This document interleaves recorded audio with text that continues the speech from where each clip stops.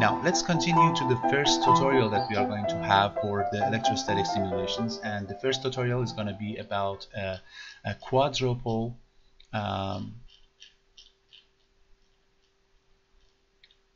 mass spectrometer.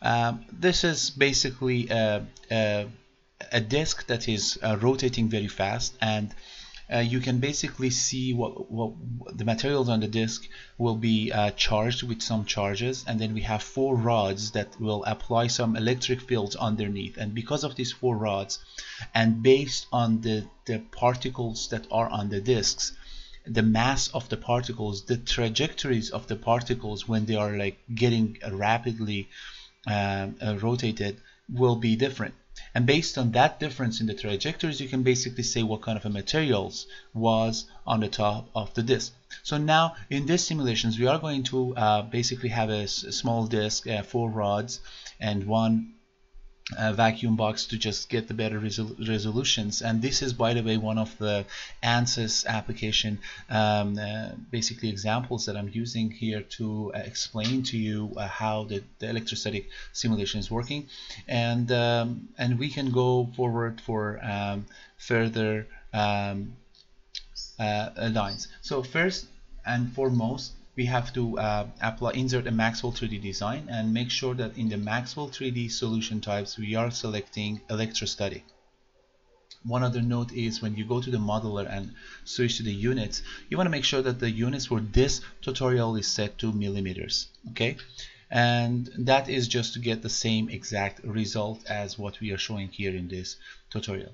Next thing is you have to select the material to be um, aluminium. So um, I, I realized that when you uh, make this um, uh, basically window slightly smaller, um, the materials are actually uh, not showing because it's just going under like some weird uh, place. So I'm just bringing the materials down here so you guys can see it and uh, I'm gonna use probably like some of these uh, tools over here or there and probably I need to uh, readjust the window in order to get some of these tools but hopefully it should be okay for the rest of this tutorial. Okay so first of all selecting the materials and uh, we, we, will go with the aluminiums. Everything is going to be in uh, aluminium and and uh, we just uh, select the aluminium and it will be there for our uh, designs. First and foremost we want to make the um, the, the rods that are going to apply a huge electric field into the disk that is rotating.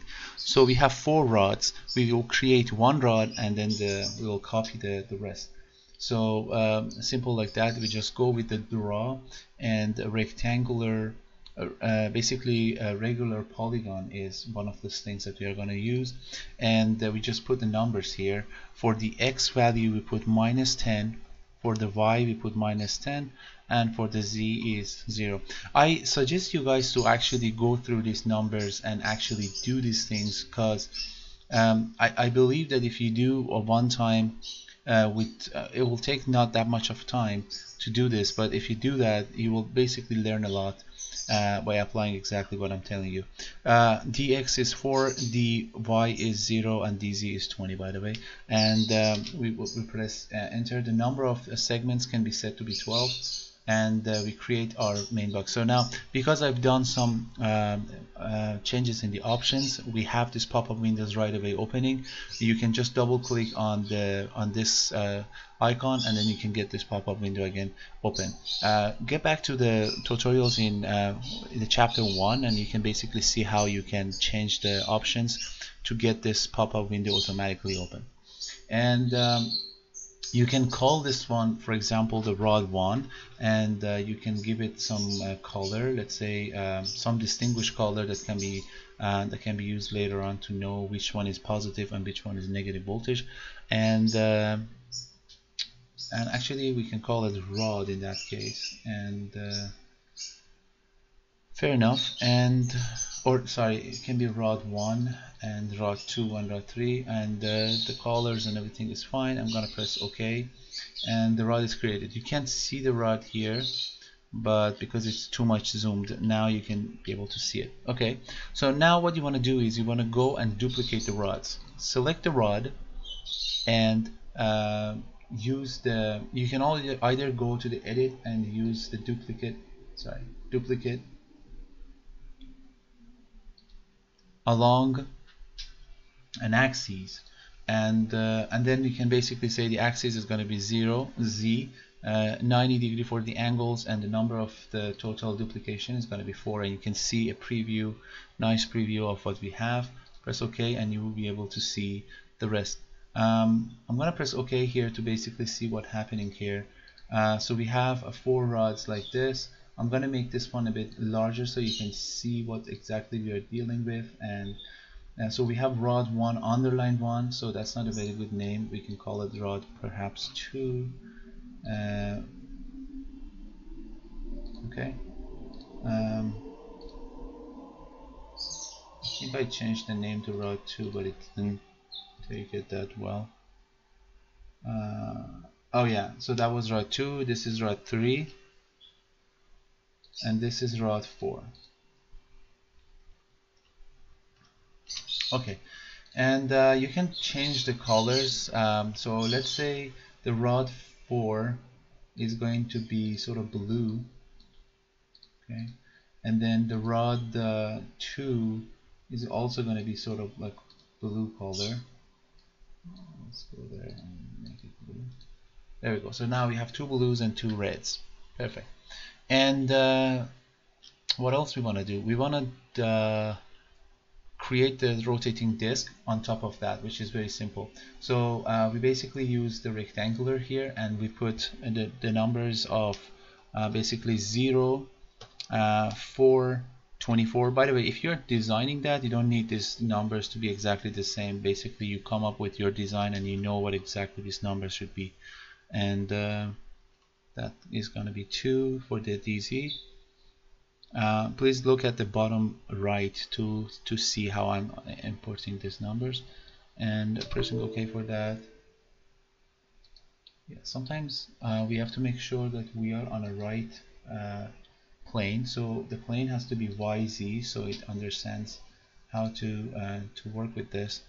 Again I'm gonna enter x0 y4 the other one 24 and the DZ is gonna be 220 and the dx is 0 that gives us the the disk. Uh, we can call this actually disk uh, although it doesn't look like a disk but it's gonna be like a disk very soon. So I'm gonna make it like a disk uh, soon. So while this um, disk sheet is selected we can now uh, either right click on it like simple like that and go on edit oh you guys cannot see it. So let's do this. Right click on it and go on edit and then go on um, sweep. And then you can go around axes. And the axis is going to be Z for sure and 360 round and the number of segments you can put whatever numbers if you put zero it will be a true curve but uh, that's not good for meshing. So let's go with the 36 seg segment which is good enough. And there we go you got your disk that fast and easy.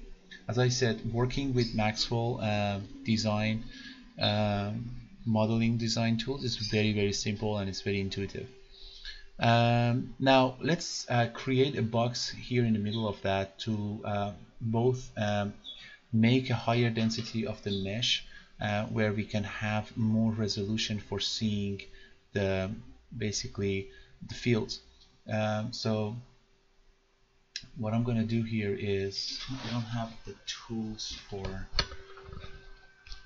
mm, panning around and stuff so I'm going to use the shift key to pan a bit and so um, the box is going to be vacuum. So we go and select vacuum over here to be our material and we use the box and put the numbers uh, to be uh, minus 2 for the x minus 2 for the y z is gonna have a 0 for us. And then pressing enter will give us the dz of 30 and uh, dy of basically 4 and dx of 4 as well.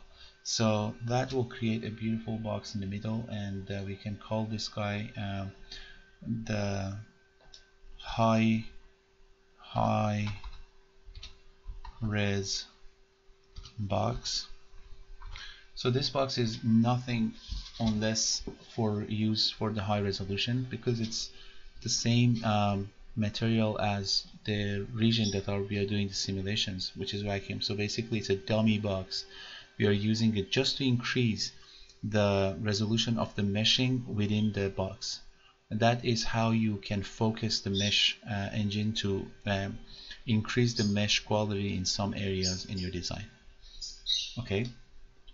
Uh, it does not look very uh, good at this angle. Maybe if we change the angle we should be able to see a better result. no it's not good. So it should be in the middle. I think I did some mistake in the numbers that I put. Um, this should be minus 2 for the initial X which I put 2 so that makes it to be not exactly in the middle. So let's just double check again if everything is okay. Yeah the box looks like that is going right in the middle and we have it like this. That's perfect. Um, one other thing that we can do is we can select everything and uh, change the transparency to almost uh, zero or opaque so we can actually see what we are doing instead of being always in transparent mode okay? So that's cool. And uh, last is we have to define a region here and the region is going to be the the